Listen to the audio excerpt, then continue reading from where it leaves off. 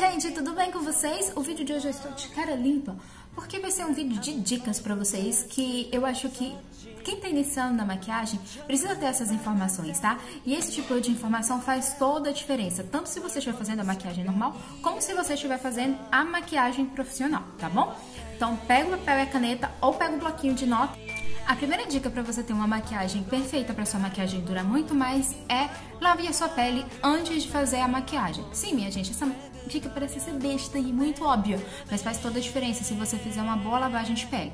Esse sabonete aqui é da Agradal e a pele fica maravilhosa com ele. Tem outras marcas, eu uso esse com aquela escovinha de lavar assim na cara assim, ó, e a pele fica boa, beleza?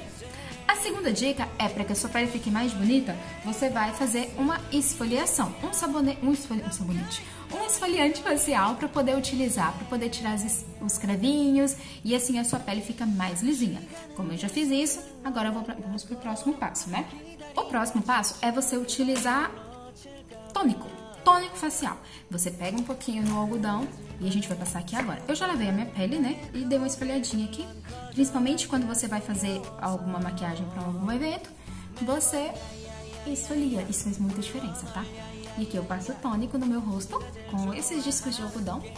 Esse aqui é da, é da Ruby Rose, tá? Todo mundo tem acesso a Ruby Rose, então não venha dizer que é um produto caro, que vocês não vão conseguir ter porque é muito barato, ok?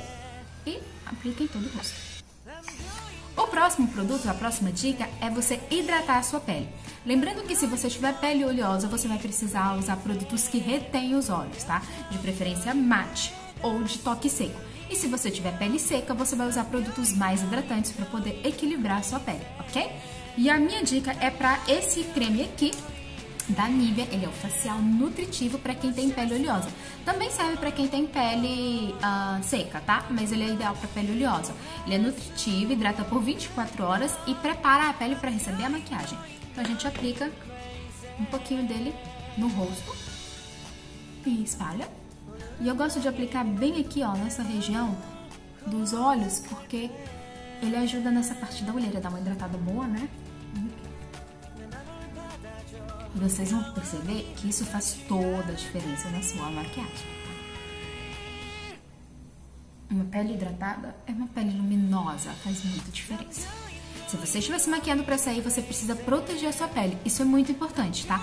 Protetor solar é muito importante. E ele vem agora nesta ordem. Depois de limpar, tonificar, hidratar, você vai proteger. Esse aqui é da Simple e ele é FPS 15, mas você pode utilizar outros de FPS 70. Eu tenho esse aqui, ó, da Rock, que também é muito bom, toque seco, e você vai arrasar com ele, tá? Tem o da Nivea também, que ele é ótimo, eu também utilizo ele, você vai aplicar no seu rosto. Agora tá de noite e eu não vou passar protetor solar, porque é desperdício de dinheiro, né? Isso seria isso. Após você passar o seu protetor, você vai passar seu primer. E o primer, ele é muito importante neste momento, porque cada primer tem uma função.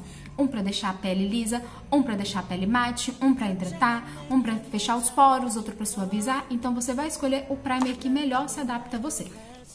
O que eu gosto é de deixar a pele lisa. Eu não tenho ele inteiro, mas eu tenho uma amostra que é esse Blue da L'Oreal aqui, tá? Ele é um blue, ele é uma massinha que você pega e aplica ele aqui, ó, tá vendo?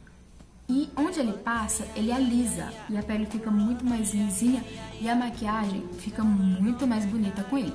Eu tenho algumas amostras dele, eu vou comprar, porque eu gostei muito dele.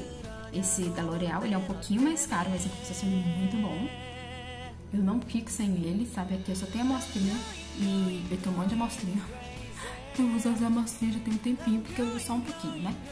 Aqui principalmente nessa parte aqui do olho, ó, que essa olheira me incomoda.